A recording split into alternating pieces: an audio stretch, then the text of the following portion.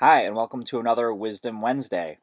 I thought today I'd talk about something I've been struggling with, and I think a lot of people are struggling with, and it's what to do with negative thoughts, right? We have a lot of stress going on. Uh, our lives have been turned upside down by this thing. What do we do with it? What do we do with all the stress and negativity? So, first of all, don't ignore it. Acknowledge it. It's there. It's going to come out somehow. Feelings are going to come out somehow, no matter what, right? So I'm going to offer you three tips that work for me, and I hope they can help you. My number one thing is writing. Here's my Star Wars journal. Uh, anytime I'm struggling with something that's really hard for me to deal with, I'll write about it, whether that's just writing what I'm going through, or a poem, or a letter. I'll write about it. It just helps me just to get it out there. Number two, you can talk to someone, whether that's a friend, family member, or professional.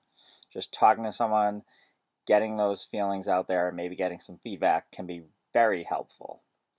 And number three is to create something. I mentioned a poem, but there's a lot of other things you can create to express negative feelings, whether that's a cartoon, a painting, a drawing, a silly video.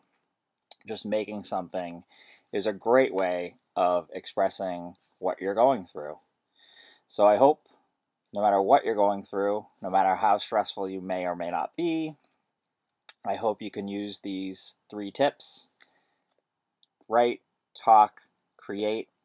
It'll help you deal with your negative thoughts, but do not ignore them. They're going to come out somehow. So I'm hoping you can use these tips and help with your negativity. Thanks for watching.